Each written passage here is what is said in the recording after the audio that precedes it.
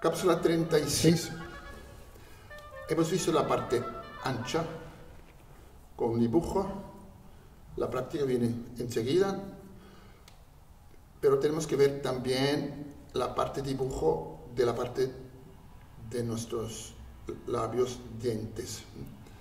Si es un hecho de los dientes en medio son los más grandes, arriba y también abajo.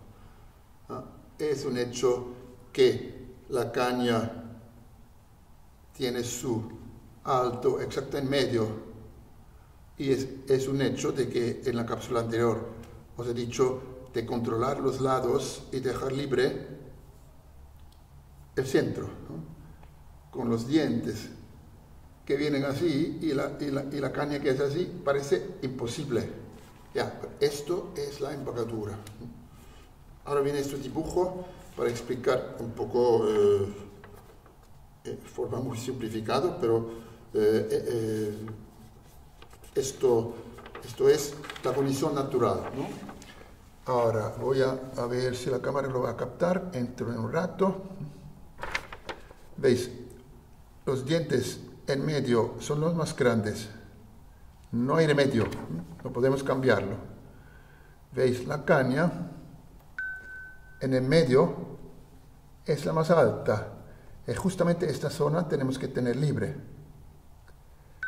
Entonces, este movimiento, como mis dedos, de exterior a interior, tiene que ayudar a los labios de corregir prácticamente la situación de los dientes. Necesitamos los dientes para la resonancia, pero los labios tienen que estar como puente al lado, controlar los armónicos, en medio dejar libre y luego controlar otra vez. ¿no?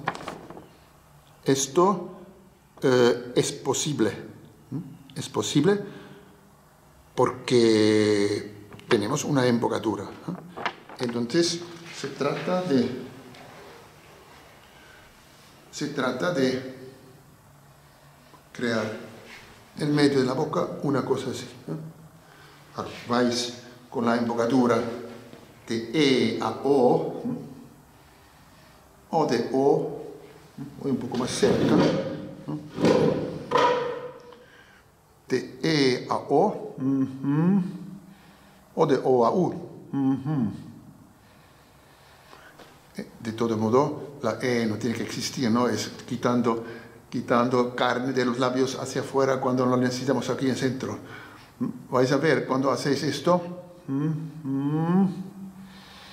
que al interior otros labios están empujando un poco los dientes como para abrirles.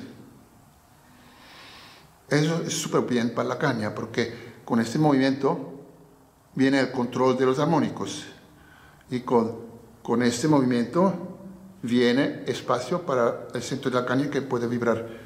Uh, si os parece que necesitáis una, una,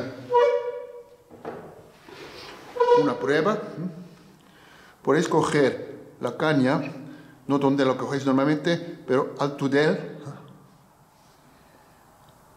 Mm. Y hacer este. ¿Dónde está? Y veis que es posible ir alrededor del, del túnel y ningún dolor, ningún problema. Pero si hacéis esto y luego hacéis una E, ¿Mm? os va a doler mucho los labios. Veréis que ahora hay presión de los labios contra el centro de la caña o de la, del, del tudel contra los labios y dientes y, y hace dolor, ¿no? Entonces, la prueba de esto, el control, que sonando haría.